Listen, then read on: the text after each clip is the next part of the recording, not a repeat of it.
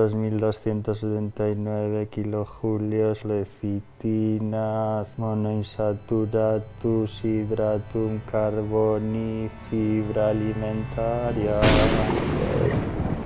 Joder, he invocado al demonio otra vez leyendo una etiqueta. ¿Qué, quieres desayunar? Ah, no, que tú eres crudo y vegano, es verdad.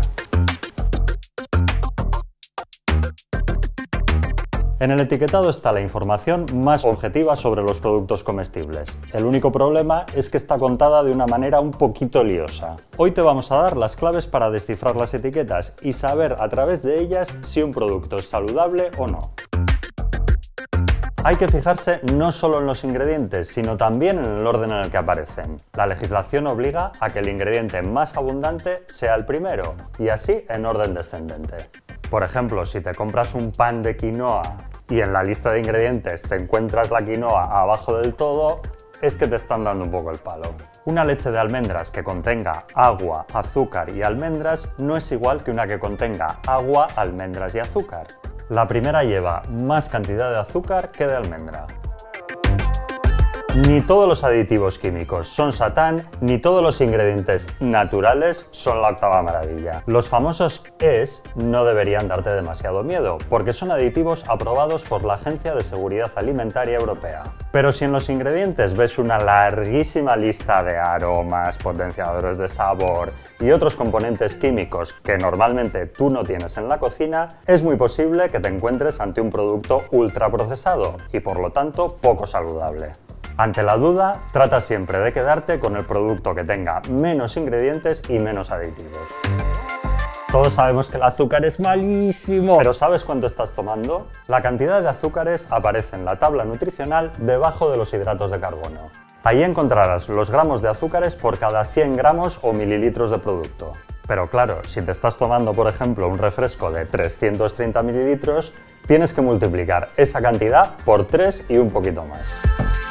Hace poco se ha publicado un estudio que ponía de manifiesto que la mayoría de los yogures tienen la misma proporción de azúcar que los refrescos. Todos nos volvimos locos pensando, ¡Ah! ¿qué está pasando aquí? ¿Los yogures azucarados tienen azúcar? Pues sí, los yogures azucarados tienen azúcar. Gran novedad. Pero ¿sabes qué pasa? Que los yogures no azucarados también tienen azúcar. ¿Pero qué pasa? ¿Qué invento es esto? Vamos a explicarlo.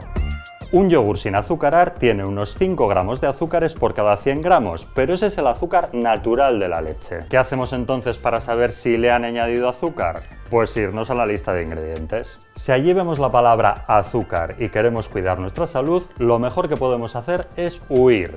Por mucho que nos digan que el yogur es con frutas, infantil, con cereales o super ecológico orgánico de la muerte.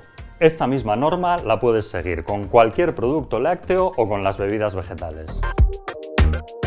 Recuerdito simpático. La miel, la fructosa, el jarabe de maíz, el sirope de arce o el sirope de agave no son más que otras maneras de decir azúcar. La sal aparece al final de la tabla nutricional y según el Ministerio de Sanidad, un alimento tiene mucha sal si supera la cantidad de 1,25 gramos por cada 100 gramos. Así que cuidado con las patatas fritas. Las grasas también aparecen en la tabla nutricional y nos dan dos datos, la cantidad total de grasas y la de grasas saturadas. La cantidad total de grasa no nos dice mucho sobre si un producto es saludable o no. Los frutos secos o el aceite de oliva tienen mucha y son muy saludables. Los lácteos desnatados tienen poca grasa y no son mejores que los enteros. Conviene más fijarse en la cantidad de grasas saturadas, que son menos saludables que las insaturadas. El Ministerio de Sanidad recomienda no tomar más de 7 gramos diarios de grasas saturadas.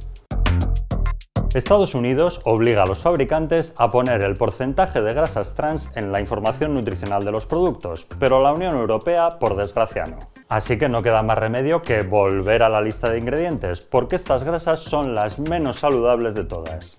Todas las grasas hidrogenadas o parcialmente hidrogenadas son trans y deben evitarse si quieres llevar una alimentación sana. Hay marcas que tienen la poquísima vergüenza de anunciar a bombo y platillo que han quitado el aceite de palma de sus productos cuando siguen cargados de otros ingredientes insanos. Y no miro a nadie. Sin aceite de palma no es sinónimo de saludable. Así que desconfía de este reclamo y fíjate en la letra pequeña. Muchos embutidos y fiambres de pollo, pavo y cerdo presentan cantidades sorprendentemente bajas de pollo, pavo y cerdo. Cuando compres productos cárnicos, fíjate muy bien en el porcentaje de carne real y en el de féculas, almidones y otros ingredientes que no son carne. Si la carne de verdad no supera el 80%, prueba con otra marca. O mejor aún, compra pollo, pavo o cerdo frescos sin procesar y cocínalos en tu casa, que es mucho más sano. A cocinar que te tiro esto, ¿eh? No te lo diré que te lo comes.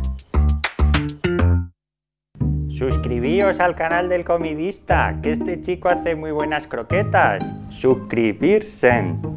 ¿Suscribirse qué es? A mí me habla más sencillo, ¿eh?